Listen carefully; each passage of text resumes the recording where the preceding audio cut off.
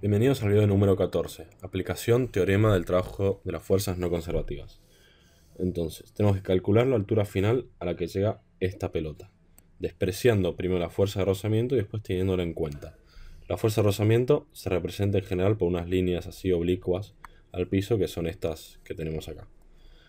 Entonces, lo primero que tenemos que pensar es despreciando la fuerza de rozamiento, o sea, A. Fricción igual a cero. Entonces planteamos, la energía mecánica inicial es igual a la energía mecánica final, Esta m chiquita no va. Entonces, ¿qué sería? La masa por la gravedad por la altura inicial más un medio de la masa por la velocidad inicial al cuadrado va a ser igual a la masa por la gravedad por la altura final más un medio de la masa por la velocidad final al cuadrado. Ahora, cuando arranca la pelota, está detenida, ¿no? Se suelta y ahí empieza a acelerar. Entonces la velocidad inicial es cero. Entonces todo esto es cero y lo podemos sacar. Y cuando llega a la altura máxima, la velocidad final va a ser cero. Porque llega a la altura máxima y frena. Por lo tanto, esto también lo podemos sacar. Entonces, borrando esto de acá y esto de acá, nos quedan dos términos. ¿Qué tenemos que sacar? La altura final. Entonces, despejamos.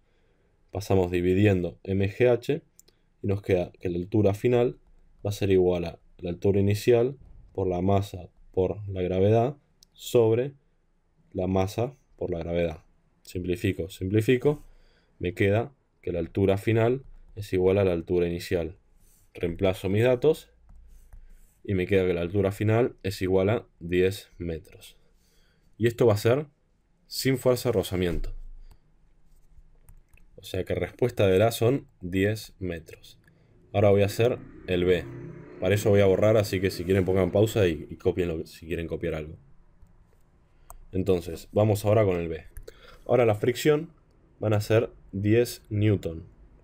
Entonces, nosotros tenemos que plantear la misma, en vez de energía final igual a energía mecánica inicial, tenemos que plantear que el, delta de energía mecánica va a ser igual al trabajo de las fuerzas no conservativas.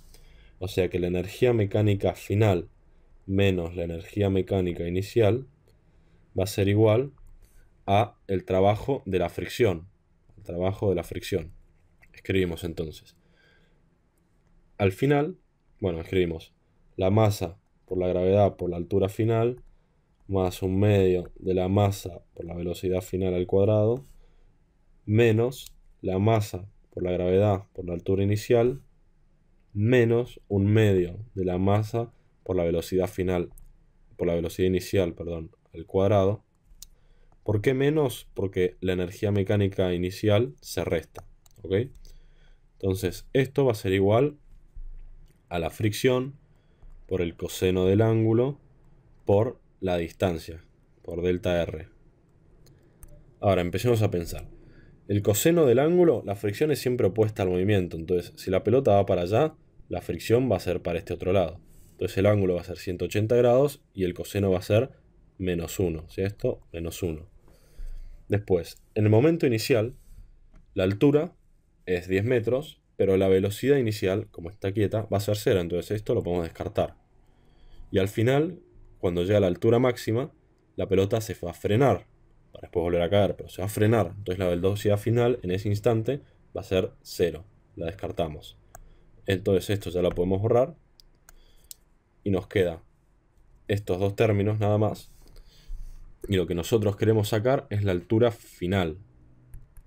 Entonces para eso lo que vamos a hacer es pasar sumando esto de acá, cosa que nos queda que la masa por la gravedad por la altura final se iguala la fricción, el coseno del ángulo habíamos dicho que era menos 1, entonces vamos a poner directamente menos fricción por delta R más la masa por la gravedad por la altura inicial. mg lo pasamos dividiendo, entonces nos queda la altura final igual a todo esto sobre la masa por la gravedad.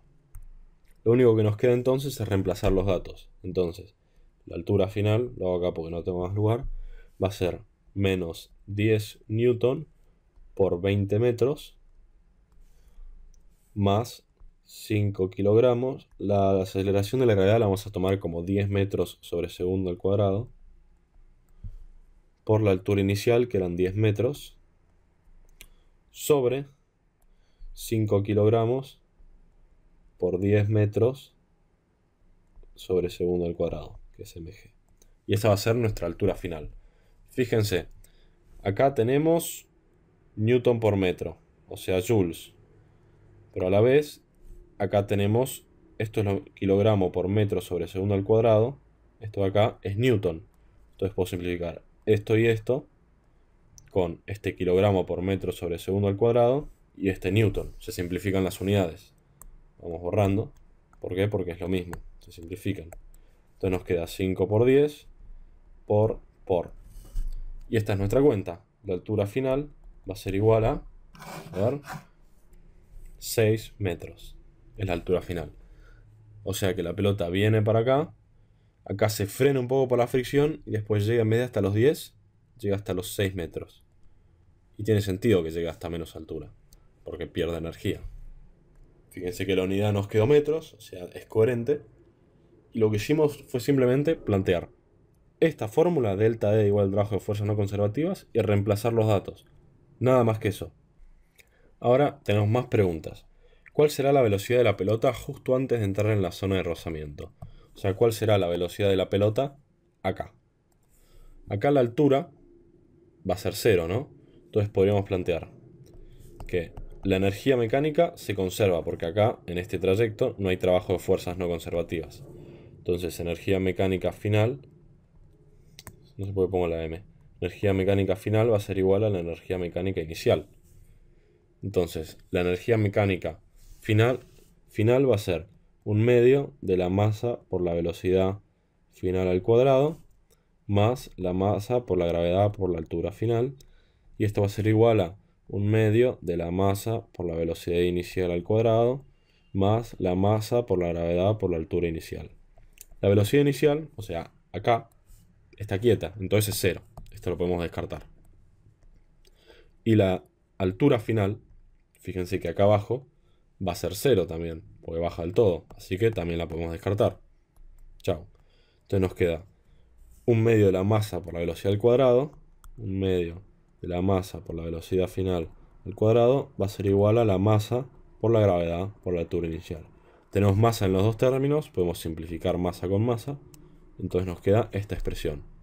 Nosotros queremos saber la velocidad, o sea que la velocidad final va a ser igual a dos veces la gravedad por la altura inicial. Bueno, miren esto, ¿no les suena de algún lugar? Si vieron movimiento rectilíneo uniformemente acelerado. ¿Se acuerdan de esta fórmula? Velocidad final al cuadrado menos velocidad inicial al cuadrado igual a 2a x, siendo x la distancia. Bueno, x distancia, h altura, parecido. g y a son las dos aceleraciones. Tenemos el 2 y tenemos una velocidad inicial que era 0. O sea, fíjense que es la misma fórmula que el movimiento rectilíneo acelerado, uniformemente acelerado, pero llegamos a ella a través de las energías. Muy loco, ¿no? Entonces, ¿cómo terminamos de despejar esto? Velocidad, velocidad final igual a 2g altura inicial y de esto la raíz cuadrada. O sea que la velocidad final va a ser igual a 2 por 10 metros sobre segundo al cuadrado por la altura inicial que era 10 metros y de esto la raíz. O sea, va a ser la raíz de 200. Entonces velocidad final va a ser igual a, fíjense que acá tenemos metro por metro, metro al cuadrado. O sea, nos queda raíz de 200 por metro cuadrado sobre segundo, segundo al cuadrado y esto la raíz. Puedo simplificar la raíz con los dos cuadrados. Entonces acá me queda raíz de 200 metros sobre segundos. Metros sobre segundo es la unidad de velocidad, así que lo estoy haciendo bien.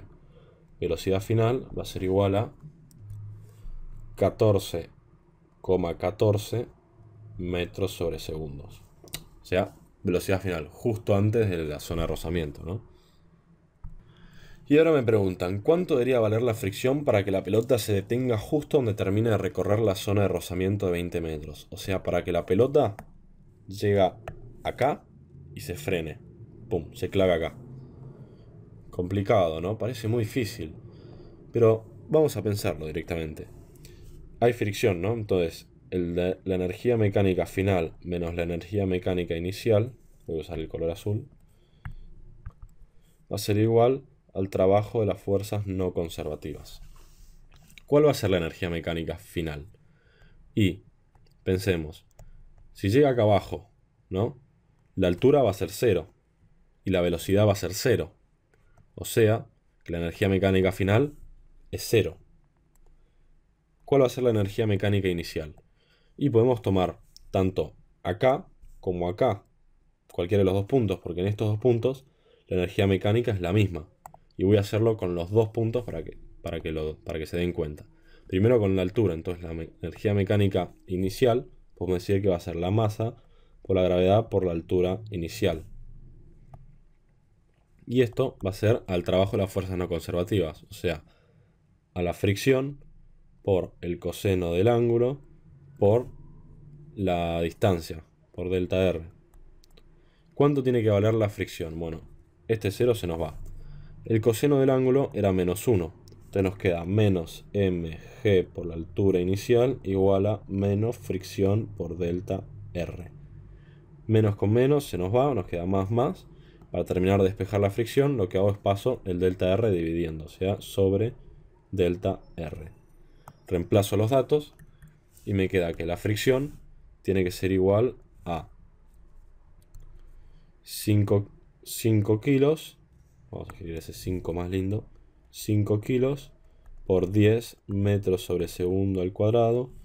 La altura inicial era 10 metros sobre los 20 metros del delta R. Metros se me va con metros, kilogramo por metro sobre segundo al cuadrado, ¿cuánto es? Newton. Este 10 lo podemos simplificar. Entonces nos queda 5 por 10 dividido 2. 5 por 10 es 40, perdón, es 50 dividido 2, 25. O sea, 25 newton tiene que ser la fuerza de fricción. Vamos a ver. Acá lo pensé tomando como energía mecánica inicial la que tiene acá arriba. Ahora lo voy a hacer tomando la que tiene acá abajo. A ver si nos da lo mismo.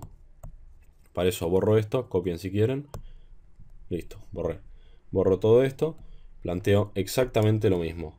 Energía, energía mecánica final menos energía mecánica inicial igual al trabajo de las fuerzas no conservativas. La energía final habíamos dicho que era cero. Entonces esto nos queda menos un medio de la masa por la velocidad al cuadrado, que la velocidad la calcula acá.